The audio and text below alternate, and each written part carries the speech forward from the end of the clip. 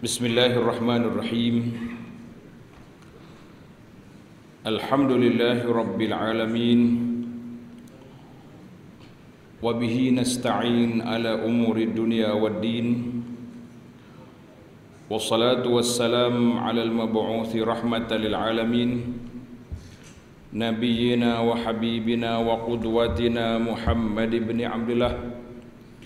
وعلى آله وصحبه ومن سار على نهجه واهتدى بهديه واستنى بسنته الى يوم الدين اما بعد yang dihormati pengacara majlis Datuk Haji Asri pengurusi ahli yang terkuasa Masjid Al-Hakim muslimin dan muslimat para pencinta ilmu sekalian Assalamualaikum warahmatullahi wabarakatuh Alhamdulillah syukur kita kepada Allah Azza wa Jalla kerana pada hari ini sudah 26 Syaban. 26 Syaban 1444 bermakna kita berada di ambang Ramadan. Dekat benar dah kita dengan Ramadan ni hanya ada 2-3 malam je lagi. Jadi sempena dengan kedatangan Ramadan kita akan ambil tadabbur ayat tentang puasa di antara perkara yang ajaib tentang puasa ini Allah SWT letak ayat dia satu satu muka ya. Cuba tuan tuan tanda ayat puasa ni bermula daripada ayat 183 183 Ya ayyuhallazina amanu kutiba alaikumusiyam dan dia berakhir dengan ayat 187 Kemudian sebagai penutup dia Allah beri pada kita ayat 188 Itu penutup ayat. Tapi kita tak boleh baca semua. Kita akan baca satu ayat je malam ni. InsyaAllah. Ayat-ayat hal lain itu kena tengok rakaman hal lepas ha, Jadi dia baca semua Pukul 12 malam tak habis lagi. Pada jemaah sekalian Yang pentingnya Yang ada di Quran di tangan tu tengok Ayat puasa ni duduk. Selepas daripada puasa Tengok ayat 188 Allah kata mu jangan makan benda batil Artinya mempuasa sebulan Sudah puasa sebulan Pergi gomo pula benda yang haram. Di, di mana kesan puasa itu duduk mana? Athar Di mana kesan puasa? Maknanya tak ada faedah. Kemudian Allah Ta'ala bawa selepas daripada itu Dia panggil ayat perang. Tengok. Waqatilu fi sabilillah. Pergi berperang pada jalan Allah. Kata di ulama tadabur dia kata bila kita tadabbur Quran ni kita kena buka. Mungkin semuka sebelum mungkin semuka selepas barulah lengkap dia punya perbincangan nah, kalau kita ambil satu ayat satu ayat mungkin tak nampak maka di sini ulama mengatakan bahawa puasa ini jihad lawan nafsu nafsu yang paling dia suka di atas dunia ni yang banyak kita habis belanja sepanjang hidup kita ni 50 sampai 70 80 tahun ni yang paling banyak sekali bajet kita makan. Rumah kita buat sekali ya, walaupun juta ke setengah juta ke. Hak pakai hak tu ya. Tunggu kita tinggal dia lah. Tapi makan hari-hari. Bila mari puasa, Allah Taala nak didik nafsu kita. La'allakum tattaqun. Aku suruh mu tinggalkan makan, suruh tinggalkan minum, tinggalkan duduk dengan isteri pada siang hari. Semua itu benda halal. Lah. Kemudian mari ayat 188 Tuhan kata wala takulu amwalakum bainakum bil batil. Mu jangan makan harta kamu dengan batil. Maknanya puasa sebulan. Lepas puasa pergi ambil riba lagi, pergi ambil rasuah lagi, pergi ambil skema lagi, benda-benda yang tidak baik. Kita kata di mana atharus siam, di mana kekesan puasa yang kita berpuasa itu. Nah, kemudian mari waqatilu fisabilillah, dia panggil ayatul jihad, itu berperang lawan syaitan lawan kafir yang menentang Islam, lawan segala musuh yang nak lawan Islam. Wajib kita kena lawan. Jadi alhamdulillah para jemaah sekalian itu dia panggil perbincangan. Jadi nasib kita pada malam ni bahagian kita malam ni iaitu ayat 186. A'udzubillahi minasyaitonirrajim. Wa idza sa'alaka 'ibadi 'anni fa inni qarib. أجيب دعوة الداع إذا دعان فليستجيبوا لي وليؤمنوا بي لعلهم يرشدون dan apabila hamba-hamba aku bertanya kepadaku mengenai aku ha, Allah Taala kata beritahu kepada Nabi sallallahu alaihi wasallam kalau hamba aku tanya tentang aku tentang Allah maka beritahu kepada mereka sesungguhnya fa inni qarib sesungguhnya aku itu dekat mana dalam bab doa kita dengan Allah Azza Wajalla sangat karib, sangat dekat. Minta je, tak payah bertempik, tak payah melawan. Bisik pun jadi. Aku perkenankan permohonan orang yang berdoa. Maknanya semua orang yang berdoa, Tuhan terima permohonan. Apabila ia berdoa kepadaku, makalah mereka menyahut seruanku dengan mematuhi perintahku dan hendaklah mereka beriman kepadaku supaya mereka menjadi baik serta betul. Ah, itu ayat yang kita nak bincang. Tuan-tuan kena pergi ayat tu jangan jangan tutup mushaf sebab kita akan ambil satu-satu kalimah. Satu-satu kalimah. Nah, kemudian di akhir nanti mungkin kita tengok sikit kalau sempat risalah kita tentang Ramadan ni insya-Allah. Baik para jemaah sekalian, kita pergi kepada ayat tengah-tengah ayat puasa. Coba tengok ayat 183 kewajipan puasa. Kemudian hari 184 Allah Taala sebut hari puasa ni berapa hari je dan diberi kecualikan orang sakit dengan orang uzur boleh buka puasa. Kemudian datang ayat 185 wajib puasa bila hari Ramadan tanpa kecuali. Nah, maknanya tak boleh pilih kecuali orang uzur dengan orang orang musafir. Kemudian barulah sampai kepada ayat kita. Ini para ulama tadabbur dia kata ayat ja'at ayatud du'a datangnya ayat doa di tengah-tengah ayat puasa. Nanti ayat 186, 887 balik semula kepada puasa. Apa sebab? Ha, sebab dianya para jemaah sekalian di sinilah para ulama, para tadabbur, pentadabbur, pengkaji, mengkaji dia kata kita orang berpuasa ni jangan lepas daripada berdoa. Sebab dalam hadis Nabi sallallahu alaihi wasallam di antara doa yang mustajab Tiga doa yang tidak ditolak. Siapa dia? Doa orang berpuasa, doa orang bermusafir dan juga doa orang yang dizalimi ataupun doa ibu bapa. Maka dengan itu puasa menjadi suatu tanggungjawab, suatu agenda besar lain daripada kita puasa, berdoa jangan tinggal. Berapa tempat kita nak doa? Pada siang harinya yang mustajab dia iaitulah ketika kita nak buka puasa hina yuftir. Ha, ni kita jangan duduk sibuk. Jangan duduk banyak ke menu sangat. Ni kita duduk sibuk dengan menu siapa Allah Akbar. Nak buka puasa tu teringat lagi ada benda tak cukup. Lari pula pergi ke bazar Ramadan. Tak payahlah. Kalau tak cukup kita doa dengan Allah SWT ganti besok hari insyaAllah. Kemudian ketika kita bersahur itu juga waktu mustajab. Maka para jemaah sekalian Allah SWT sebut kepada kita ayat 185 ni syahrul ramadan allazi unzila fihi alquran kemudian ayat 187 uhilla lakum lailatus siyam. Dibenarkan kamu pada malam-malam ramadan boleh makan boleh minum dan boleh duduk dengan isteri. Tapi di celah tu ayat 186 wa idza sa'alaka ibadi anni fa inni qarib ujibu da'watad da'i da'an falyastajibu li wal yu'minu bi la'allahum yarsudun mana ini panggil ayat doa. Baik para jemaah sekalian, kita tanda satu-satu. Kita ambil setiap kalimah daripada ayat yang mulia ini insya-Allah. Yang pertama, bila kita kata wa iza sa'alaka ibadi anni. Allah tanya, kalau hamba aku bertanya, hamba dia mana tu? Hamba dia yang berpuasa. Menunjukkan bahawa Allah Taala sangat dekat dengan kita. Jangan lekang daripada lidah kita meminta, jangan lekang daripada kita berdoa, bermunajat kepada Allah Azza wa Jalla dan menunjukkan banyaknya mustajabnya doa itu pada bulan Ramadan Al-Mubarak. Jadi para jemaah sekalian tanda ayat ini yang pertama menunjukkan Allah Taala dekat dengan hamba dia. Yang kedua menunjukkan kepada bulan Ramadan bulan mustajabnya doa. Bulan mustajabnya doa. Tapi ingat mesti melalui dua syarat. Tengok Tuhan sebut di sini. Syarat yang pertama Tengok Tuhan kata fal yastajibu li wal yu'minu bi. Kena beriman. Mu kena dengar kata aku.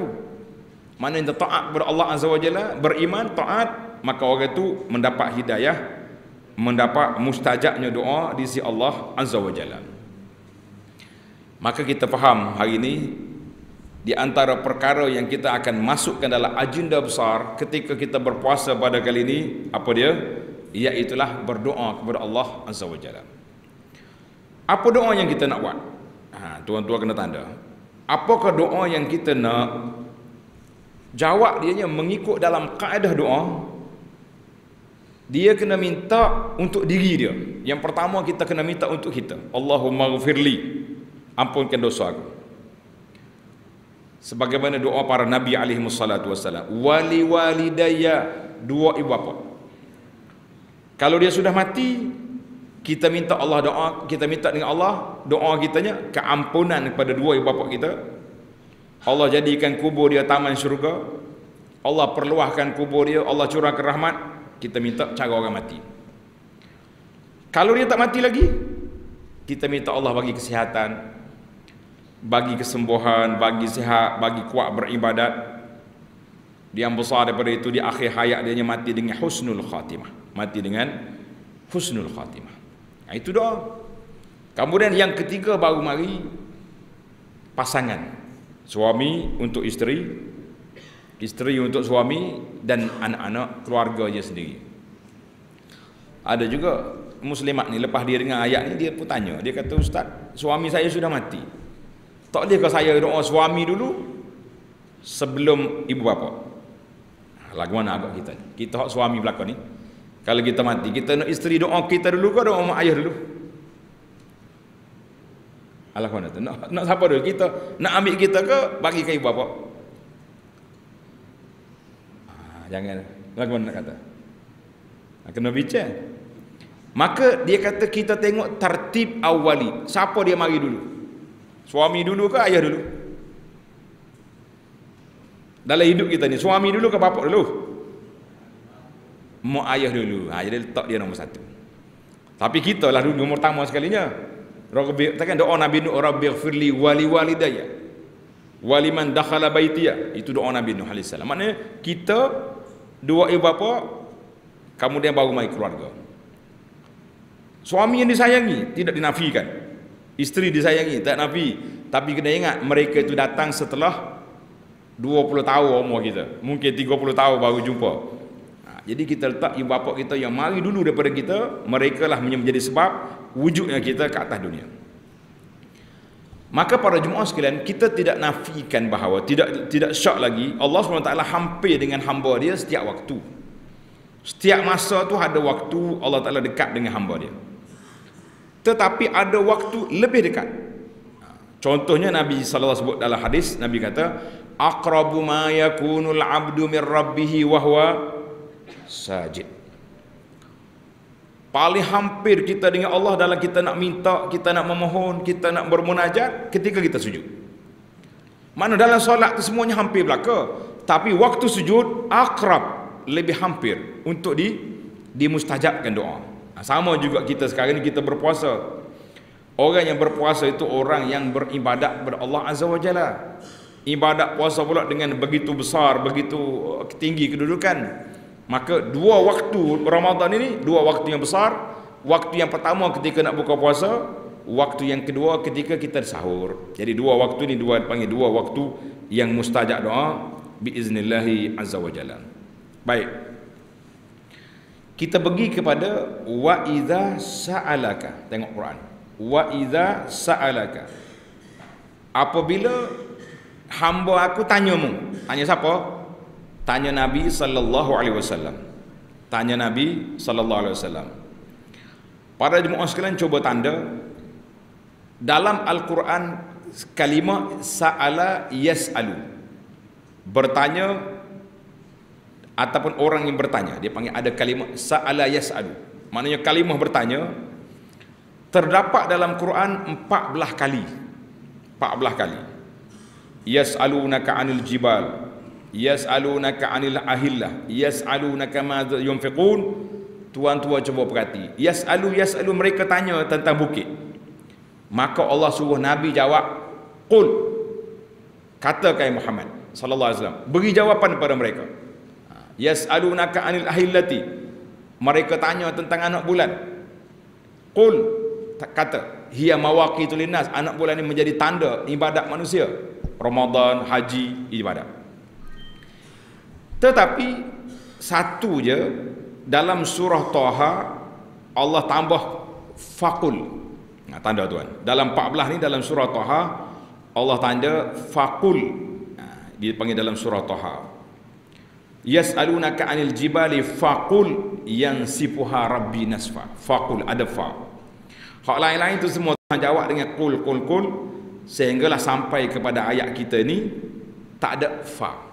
Tak ada qul ha, tengok. Tengok ni kita. Wa iza sa'alaka ibadi anni sepatutnya dalam ayat lain qul mujawab Muhammad sallallahu alaihi wasallam. Tapi dalam ayat ini Allah tak sebut qul fa inni qarib aku dekat. Oh, tengok. Kenapa? Ja'a ja'a jawabus syarti ulama tadabbur kata mari jawapan tanpa kalimah qul seolah-olahnya nak kata mujawab ya Muhammad panjang. Kalau orang tanya tentang aku fa inni qarib aku dekat. Tak payah kata mujawab aku dekat. Mana tambah satu kalimah menunjukkan jauhnya jarak di antara kita dengan Allah Azza wa Jalla maka walaupun dengan dua kalimah qul Allah Taala buang kalimah qul terus dia jawab fa inni qarib aku dekat. Tambihan ala shiddati qurbil abdi menunjukkan kepada betapa dekatnya hamba dengan Tuhannya dalam bab bab ad-doa ha, dalam kita nak berdoa kita dekat dengan Allah Azza wa Jalla. Ayat ini menjadi sebab nuzul. Tanda ni pelajar. Sebab nuzul itu maknanya sebab turun ayat. Sebab turun ayat. Sahabat-sahabat mari tanya Nabi sallallahu alaihi wasallam, "Ya Rasulullah, aqaribun rabbuna?" Tuhan kita dekat ke jauh? Kalau dekat, kita nak bermunajat. Bermunajat itu maknanya berbisik. Am ba'idun? Kalau Tuhan jauh, nunadi, kita akan panggil, "Ya Allah, ya Allah." Maka turun ayat Quran ni, "Fa inni qarib." Aku dekat. Ha, sebab itulah dalam kita bermunajat, kita hari ini kadang-kadang salah tempat. Salah guna istilah. Kalau kata zikir munajat. Zikir munajat. Kuat ke perlahan? Malam ni malam bermunajat. Munajat perdana di masjid kita ni, di stadium. Kuat ke perlahan kita punya baca? Eh? Kuat. Munajat mana bisi? Itu bukan zikir munajat, itu zikir melaung Allah. Alah. Sebab tu dia tanya, Sahabat mari tanya, Tuhan tu dekat ke? Kalau dekat kita nak bisik. Ataupun jauh, kalau jauh kita nak panggil. Maka turun ayat Quran ni yas'al wa iza sa'alaka ibadi anni fa inni qarib. Kalau hamba mari tanya aku, cakap aku dekat. Tak usah duduk susah hati, tak usah duduk tahu. Maka kita mengatakan bahawa itulah jawapan daripada Allah kepada soalan para sahabat yang mulia tadi. Baik. Sa'alaka yas'alunaka semuanya dijawab dengan kalimah qul. Dalam toha faqul dalam ayat ini tanpa qul. Itu menunjukkan hazah dua kalimah menunjukkan lebih dekat. masya-Allah. Yang kedua kalimah ibadi. Wa iza sa'alaka ibadi hamba aku tanya. Jadi di antara kalimah yang cantik dalam ayat puasa ini Allah kata ibadi hamba aku Maka kata di para ulama ulama tadabbur Ibnu Ashur contoh kata, cuba-cuba tengok ayat 85 di akhir ayat Tuhan kata la'allakum tashkurun. Aku beri kamu ibadat puasa ni, aku ringankan puasa orang sakit boleh buka, orang musafir boleh buka puasa, boleh ganti pada hari lain. Kalau payah ada ada kemudahannya, kemudian supaya kamu bersyukur, maka kata di para ulama setelah Allah Taala suruh kita bersyukur mari panggilan wa iza sa'alaka ibadi. Kalau hamba aku tanya. Di sini ada satu latifah ada satu nuktah yang perlu kita ambil bahawa sebelum berdoa kita kena puji Allah. Jadi tak boleh kita pakai tengok nak doa pakai akak tangan ya rabbi. Lah kita kena mula dengan alhamdulillah alhamdulillahilladzi hadana alhamdulillahilladzi puji Allah taala Kemudian baru kita minta. Kemudian kita selawat kata Nabi sallallahu alaihi wasallam baru kita minta rabbi ghafirli. Mana jangan gopoh dalam tertib doa. Itu satu satu kata-kata bahawa zikru doa Allah Taala sebutnya ayat 186 ni doa, minta suruh doa selepas ayat syukur bermakna di sana kita kena puji Allah as-sana'u 'ala Allah azza wa jalla kemudian baru kita minta. Nah, ini ini satu kaedah. Kemudian Allah Subhanahu wa taala letak di sini ayat ni ibadi. Dia panggil idafat. Hamba itu kepada Allah. Bermakna orang yang berdoa orang yang meminta sudah pasti mereka itu orang yang beriman. Sebab itu nama dia hamba aku. Kalau tidak Tuhan tak panggil hamba dia panggil manusia. Ya ayuhan nas wahai manusia. Kalau wahai manusia itu untuk semua orang yang berimannya yang tak beriman. Yang kafirnya yang tak yang mukmin. Yang soleh yang taleh. Bila sebut ya ayuhan nas masuk belakang. Tapi kalau kata bila sebut ya ibadi itu orang yang beriman. Termasuk orang beriman yang berdosa. Ya ibadiyallazina asrafu ala anfusihim. Wahai hambaku yang telah melakukan dosa jinayah ke atas diri sendiri dengan buat dosa maksiat la taqnatu min rahmatillah jangan kamu putus harap daripada rahmat Allah. Nah, jadi maknanya bila sebut ibadi maksudnya orang beriman. Walaupun dia berdosa, walaupun dia berdosa. Walaupun dia ahli maksiat, walaupun dia ahli maksiat. Kalau dia berdoa, Allah Taala akan perkenankan doa dia dengan syarat-syarat yang tersebut. Jadi kata di para ulama tafsir, semua ayat-ayat tentang puasa ini, tentang doa ini duduk dalam ayat kepada orang yang beriman menjadi syiar kepada orang beriman itu iaitu berpuasa beribadat kepada Allah Azza wa Jalla dan orang yang berpuasa orang yang berdoa kepada Allah. Maka Allah Taala sebut di sini fa inni qarib maka diberi jawapan tanpa kalimah qul aku dekat. Kalau tuan rajin tuan tu cari dalam Quran sa'alaka yas'alunaka. Ada 14 kali semuanya ada jawapan qul kecuali ayat ini tidak ada. Fa inni qarib kata di ulama tafsir ijaz ijaz. Kerana Tuhan nak ringkas walaupun dengan dua kalimah menunjukkan betapa dekatnya Allah Azza wa Jalla maka kerana itulah tidak perlu kita mencari orang tengah untuk nak berdoa kepada Allah Azza wa Jalla. Jadi sekarang ni setengah orang ni diajar. Nak kalau kita nak berdoa kena guna orang tengah. Pergi cari wali cari kubur tok kamak bertawasul dengan benda-benda ni. Kita kata tak apa nak. Allah kata aku dekat minta terus. Tak payah minta tawasul. Dia duk main tawasul tengah jalan ni kita ni. Nah kalau nak cakap dengan orang besar dia suruh cakap dengan PA dia. Ha, abang hubungi PA saya. Empat kali whatsapp tak jawab lagi PA dia pun. Nah itu masalah dia ni. Tapi dengan Allah tak payah. Tidak ada perantara di antara kita dengan Allah Azza wa Jalla kita terus je minta cuma ada juga orang buat syubhat dia kata kita ni kalau kita mendekatkan diri kepada wali-wali dia dekat dengan Allah jadi kita tak boleh buat Allah tu seperti makhluk. Kita nak cakap orang besar, kita cari kawan dia. Kita cari PA dia. Allah SWT kata, fa inni qarib. Tuhan tak suruh pun kata kul. Terus kepada inni qarib, itu menunjukkan bahawa tidak perlu pada wasatah, tak perlu pada perantara apabila kita bercakap dengan Allah Azza wa Jalla. Ya, tengok Allah Taala in qul faqul fa in inni qarib. Menunjukkan bahawa dia tu dekat dengan kita azza wajalla maka tak payah kita cari.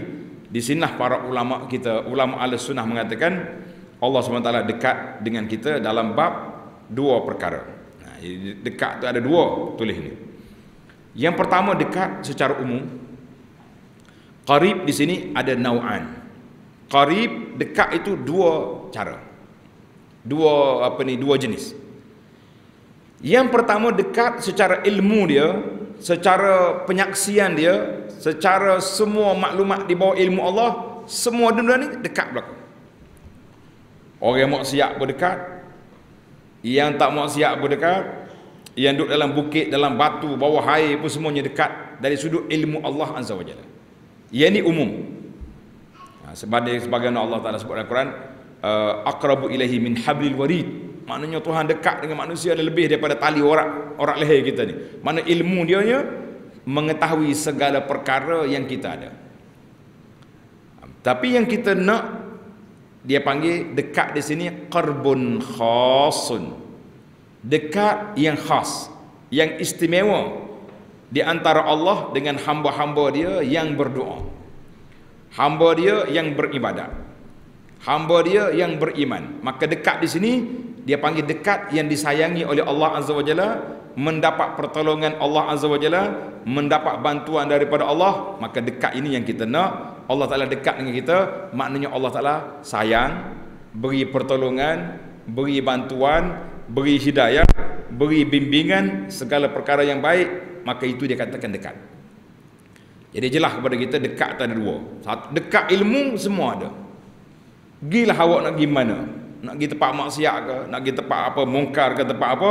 Semuanya duduk di bawah ilmu Allah azza wajalla tapi dekat khas hanya orang beriman orang yang beramal orang yang ikut peraturan itu saja yang dekat yang dikehendaki dalam ayat yang kita nak fa inni qarib. Allah Taala dekat dengan kita dalam bab pertolongan dan juga dalam bab kasih sayang.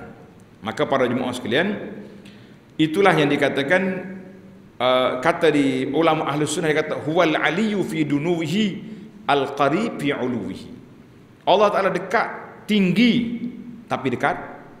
Tinggi kedudukan Allah azza wajalla tapi dekat dengan hamba dia. Qarib dekat tapi tinggi. Ha, ini kena belajar dalam ilmu bahasa ilmu bahasa akidah. Allah Taala dekat tapi tinggi. Tinggi tapi dekat. Sebab tu di akhirat esok apabila orang beriman masuk dalam syurga Allahumma ja'alna min ahli jannah. Ya Allah jadikan kita semua ni ahli syurga. Kata amin. Ketika itu setelah dapat nikmat semua Allah kata waladaina mazid. Kami akan tambah lagi nikmat pada kamu. Nikmat syurga tu besar dah tapi Tuhan nak tambah lagi. Maka ketika itu Nabi kata apa yang tambah tambahan itulah kita akan dapat tengok Allah azza wajalla di akhirat esok orang beriman akan dapat tengok Allah Azza wa Jalla. Jadi sahabat bagi tahu ya Rasulullah bagaimana cara kita ni berbagai-bagai tingkatan martabat. Nabi buat satu analogi yang mudah. Nabi kata pada malam Lailatul Qadar tak ada tak ada awan di langit. Mu nampak tak bulan? Nampak tak bulan? Bulan purnama nampak? Nampak cerah. Semua orang hak duduk atas darat cerah, atas bukit pun cerah, di atas laut pun cerah. Dia kata demikianlah kita di akhirat esok kita boleh tengok Allah Azza wa Jalla bukan macam tengok bulan tapi mana suasananya semua orang yang layak untuk tengok dia akan tengok Allah Azza wa Jalla. Al-ulu fi dunuwihi wal qarib fi uluwihi. Allahu akbar. Nah, dia kata al-ulu al-aliyu Allah Taala Maha tinggi tapi dekat dekat dekat tapi tinggi. Itu dia panggil Allah Azza wa Jalla. Allah. Jadi pada kita nak Para jemaah sekalian dekat di sini panggil dekat yang khas.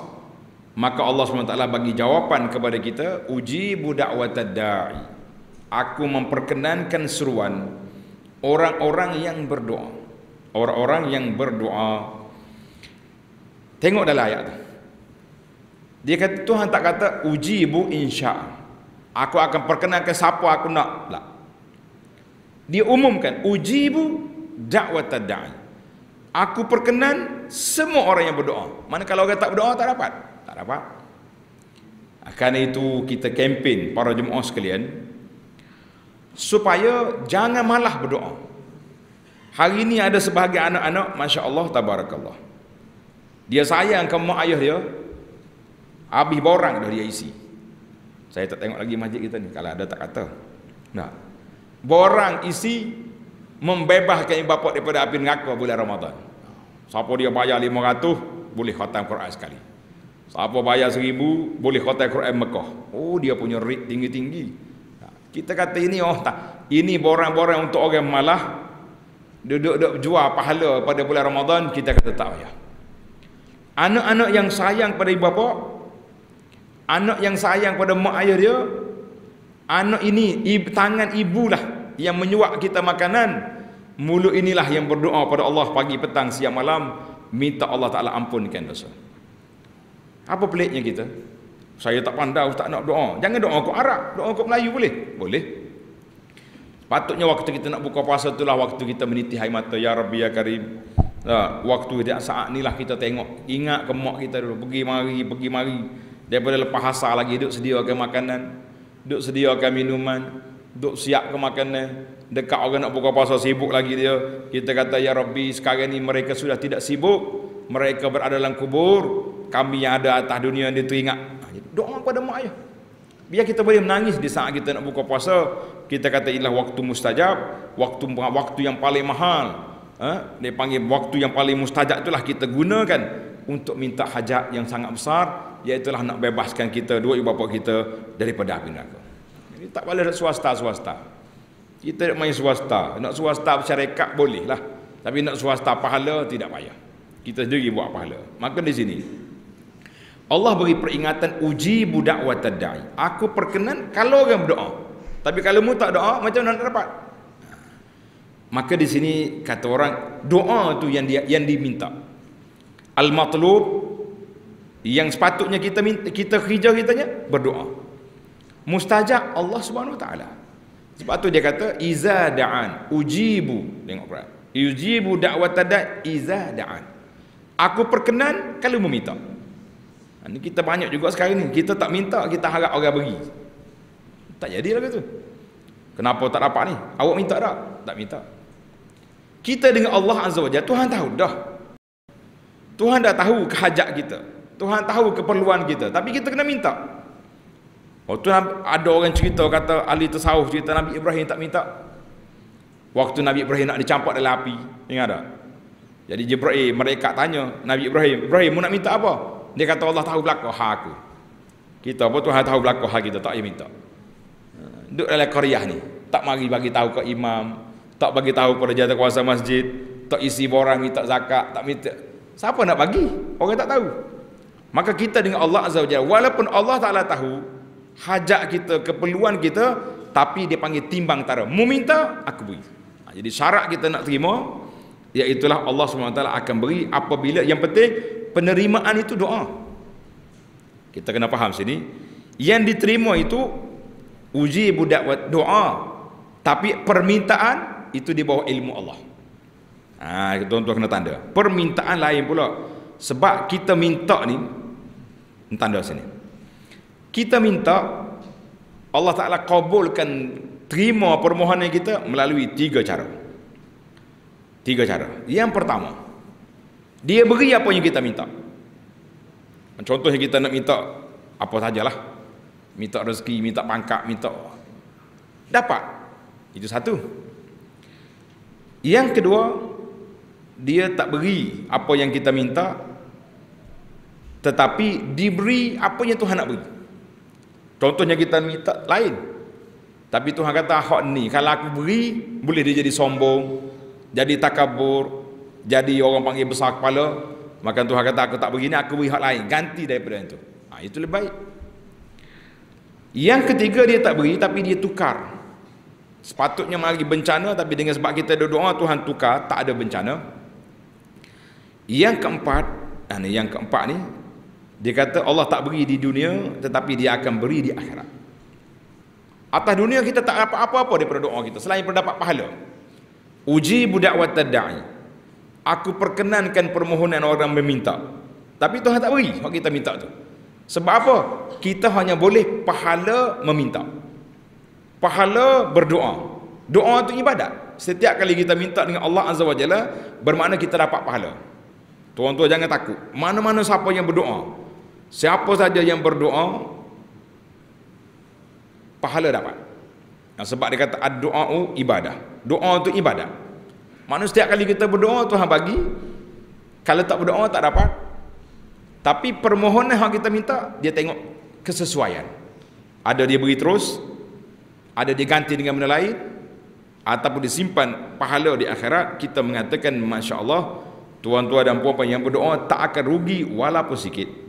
Tak akan rugi walaupun sedikit itu yang dikatakan iza da'an apabila kamu minta betul-betul permohonan Jangan orang panggil jangan minta main-main.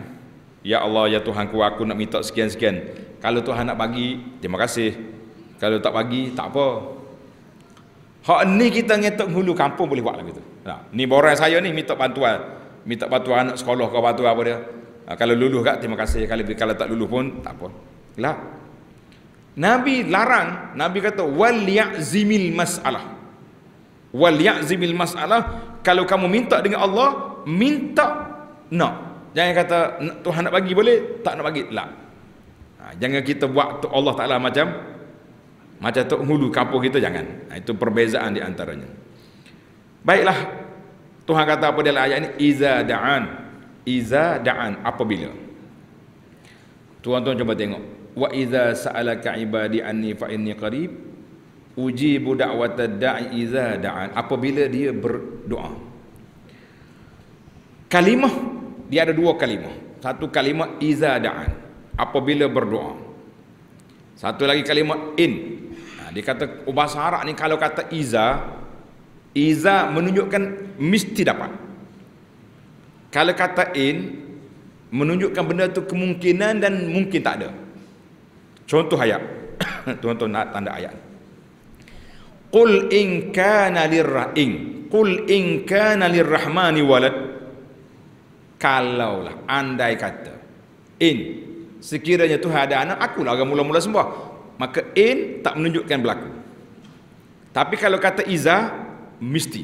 Ha, tengok ayat Tuhan guna iza da'an. Syarat dia kalau kamu berdoa, kalau kamu tak doa tak dapat. Ha, ini bahasa Arab sikitlah. Ha, sebab itulah kata di ulama tadabbur semua peristiwa hari kiamat Allah guna iza. Semua peristiwa hari kiamat. Dalam Al-Quran dia guna iza. Contohnya iza zulzilati. Bila goncang bumi. Iza syamsu kuvirat. Matahari telah dibinasakan iza waqa'atil waqi'ah semua ayat tentang kiamat Tuhan akan guna iza iza iza sebab apa sebab iza itu menunjukkan kepada berlaku iza menunjukkan banyak tengok iza da'an artinya kamu mesti banyak berdoa kepada Allah kamu kena banyak minta kepada Allah taala maka kamu akan dapat nah, ini ini dia kata itu di antara beza di antara coba tengok dalam surah al-maidah ayat 6 Iza qumtum ila salati faghsilu wujuhakum. Iza qumtum ila salah. Ha, cuba tengok ayat Al-Baqarah uh, surah Al-Maidah ayat ayat 6. Mari kita belajar ilmu tadabbur lah sini. Ha. ha. Payah nak jumpa pula main kat alam ayat selalu. Al-Maidah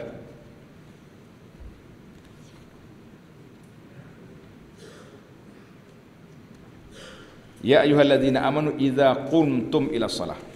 Nah, ayat muka surat payah Al-Maidah cari Maidah ayat hmm, ayat 6. Idza qumtum ila salati faghtasilu ujung ayat wa in kuntum junuban. Tengok. Apabila kamu nak nak pergi solat mesti kena ambil wudu, basuh muka, basuh tangan, sapu kepala, basuh kaki. Tapi wa in kuntum junuban kalau kamu berjunub. Ha tengok. Ulama-ulama tafsir kata Iza, kenapa waktu nak wuduk dia kata Iza? Sebab wuduk ni kita akan ambil lima kali sehari In Kuntum junuban Kalau kamu berjunub Junub jarang-jarang. Nah, Mungkin hak, hak lama-lama ni pencin dah hak. Tak ada dah tu pun. Ha, jadi, Itu dia panggil ayat Beza di antara Iza dengan In. Ha, Punya bayi syarah Kenapa, kenapa laju sikit? Baiklah Allah Ta'ala sebut dalam akhir ayat ni falyastajibu li wal yu'minu bi la'allahum yarshudun.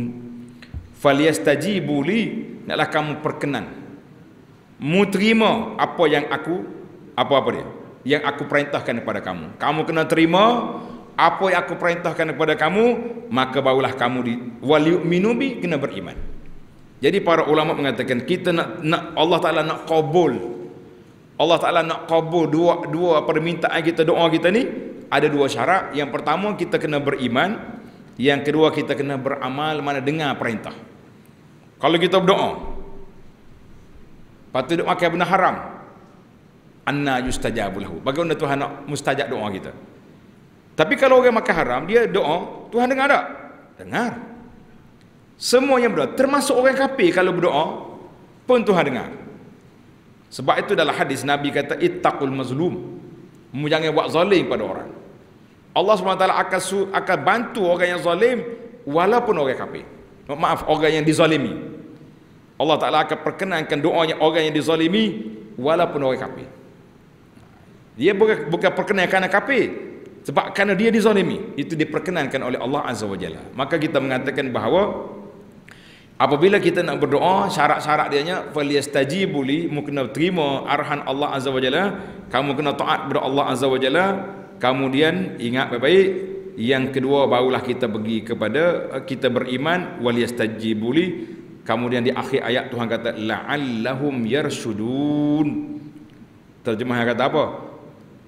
Kan? Mudah-mudahan hendaklah mereka supaya la'allahum yarshudun supaya mereka menjadi orang yang rasyid orang yang betul berjalan.